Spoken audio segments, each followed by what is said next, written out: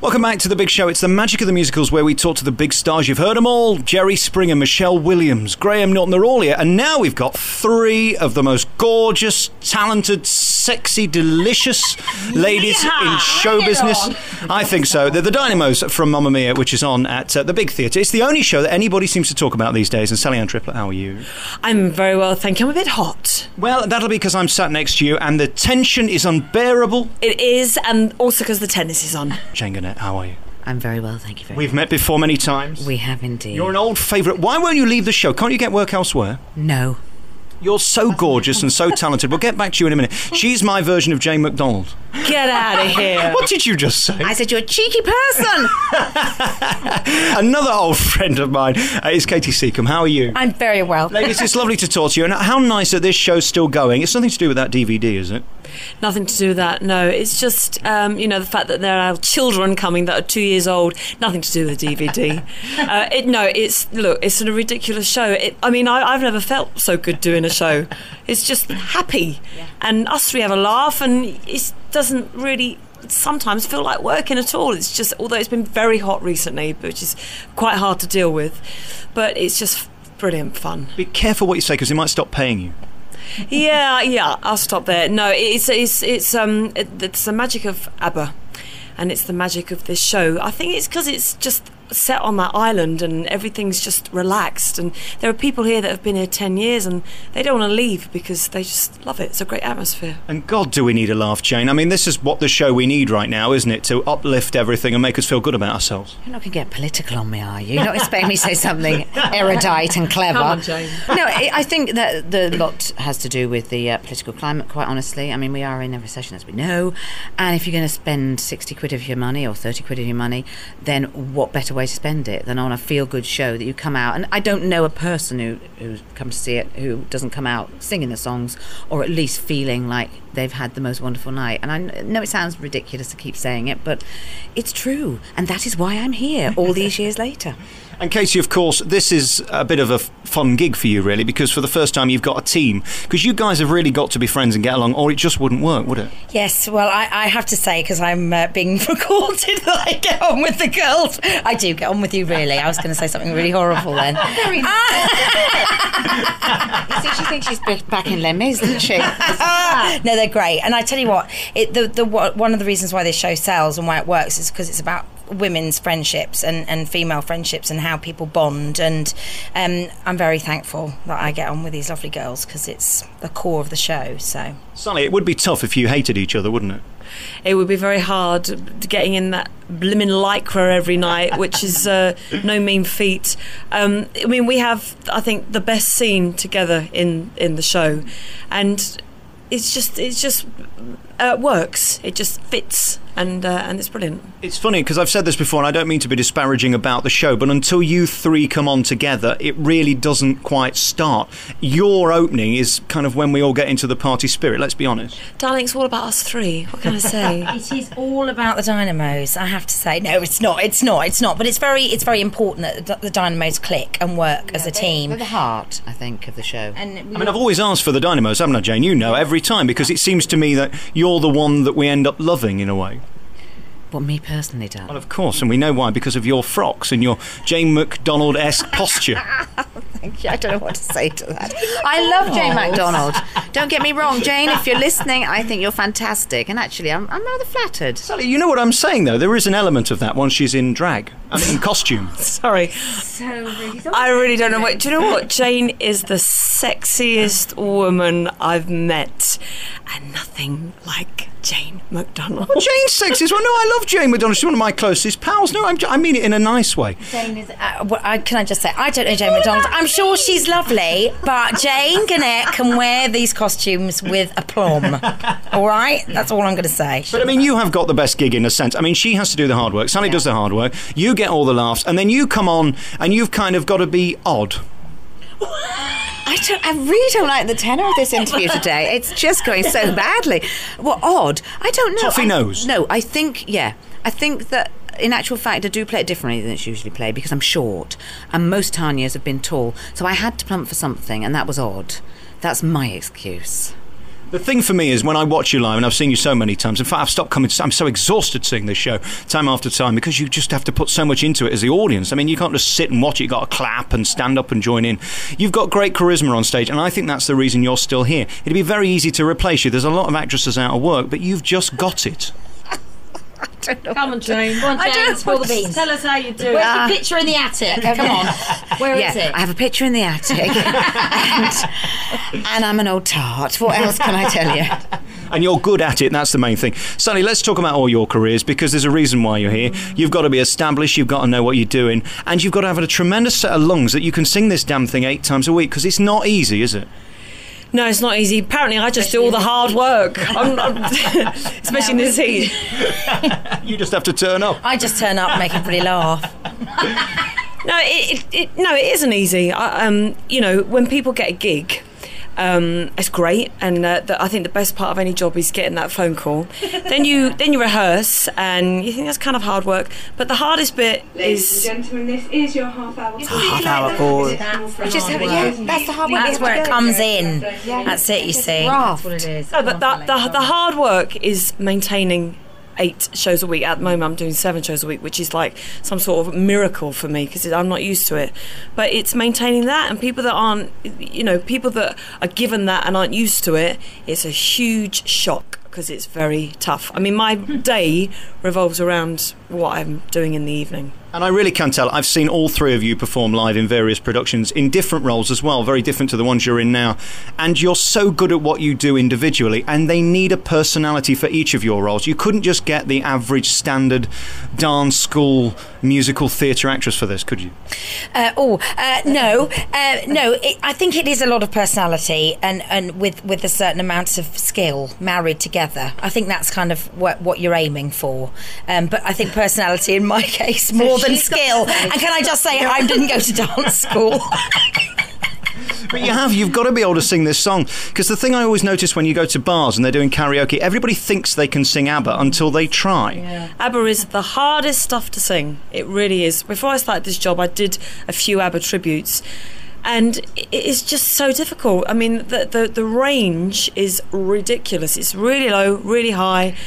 And, you know, and it's making those songs um, mean something. Um, sometimes it works better than others. Like Winner really works. Slipping Through My Fingers really works for me, anyway. Um, Dancing Queen really works. Um, and it's just, you know, it, it, but they are truly difficult.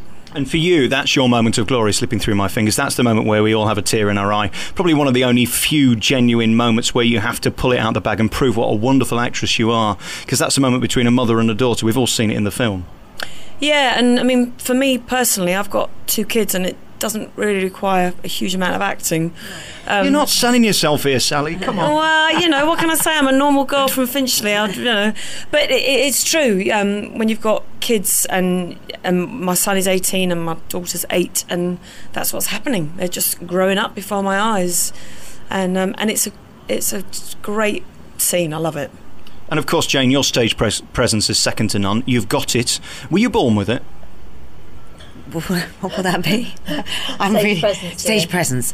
Um, yes, no, I don't Buy know. shops. I bought it at the shops. Yeah, yeah. What I mean is, you can't be trained to be what you know- guys are. No, no, I'm I'm not trained in this particularly. I can I could dance a bit when I was young. Can't sing, but I love doing it. And as long as they'll pay me, that's absolutely fine.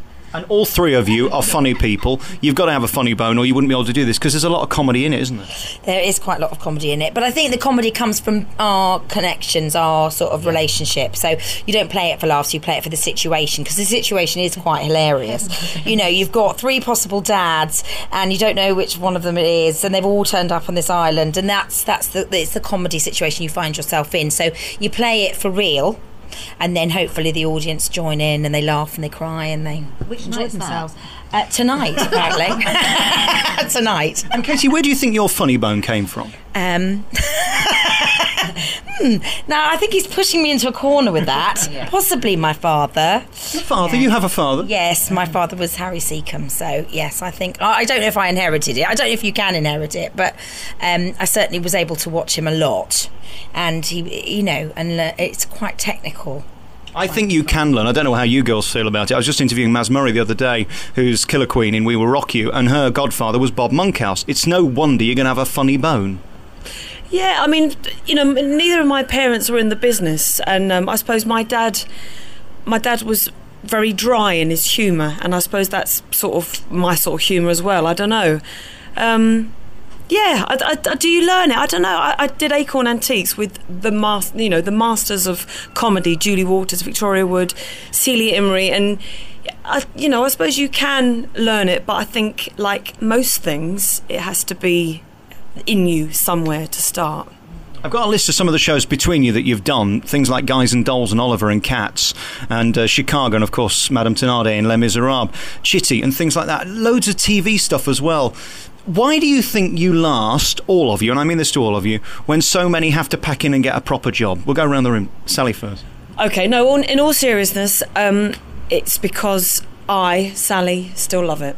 And that's the reason I, I, I still want to do it and I'm still here. I could have packed it in um, hundreds of times, and in recent years, it's got more and more difficult to maintain because people want celebrities or they want competition winners. And for me, that, that is that is that's what kills what I do because I can't compete with that. So you have to love it. You just you just have to just want to keep doing it. Would Marcus please come? Marcus, who's Marcus? RMD. Oh, ah, he sounds very important. Yes, he is very. Without him, you haven't got a show, really, have you? Absolutely true. Absolutely true. And of course, for you, Jane, why are you still here? I mean, is it that dedication? Because I notice, and I know I keep saying this, but I've never seen you phone it in. You genuinely, even on your second show, still make it look like you're 12 and it's the first time you've ever done it.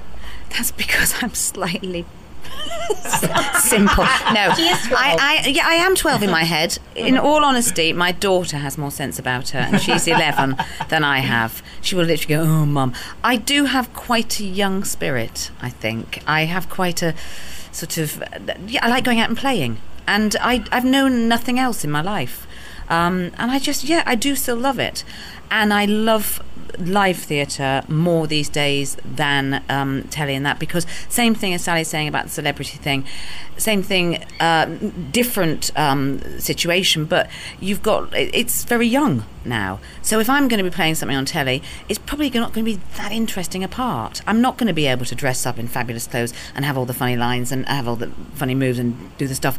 I'm going to be somebody's mother or mm. grandmother, and I'm going to be at the back going, "Do you want a cup of tea, love?" Mm. And I'm not interested in doing that. So that's mm. you know what I do love, and that's why I'm here. In all seriousness, even though you keep saying I'm still here, that's why. Katy? I I agree with the other what the girls have said. I, I agree that I, I'm here because I love it. I'm here because you know you have such a and, and, and it keeps you young. And also, I think this job just shows how wonderful it can be to be a woman of a certain age and to be the centre of the show. I mean, what other show really? Apart from I don't know, I don't know what other show really Chicago that is- is Chicago, women. yeah, yeah, older women, and but but I mean, really, there's very few shows that that celebrate the female of a certain age. And again, really, you're not the leads in this. There's a young girl and a young boy who fall in love. They're the story. But we end up remembering you guys. I don't, I don't know who you're talking about. No, no, it's all about. Are there, are there young people in this show? Aren't there, apparently oh. there are other Have they written them out since I last saw it? We're working on it. No, no.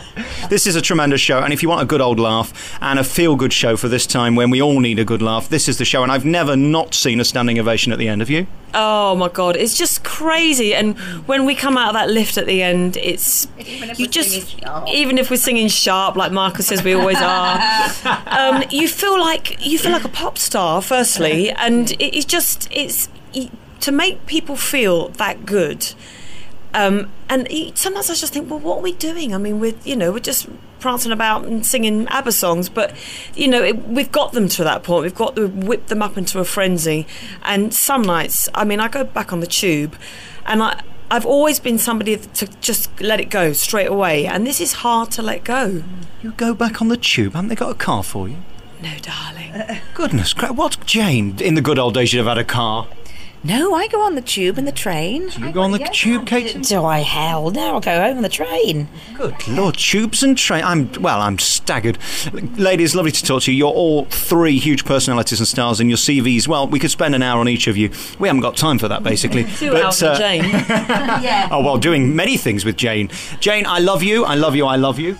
I love you too. We must stop meeting like this, especially on uh, Sally's Bonket. yes, we'll leave Sally Bonket alone. Oh, you're going to have to edit half this. I'm so sorry. I just get embarrassed. Woozy, are you? No, I just get embarrassed.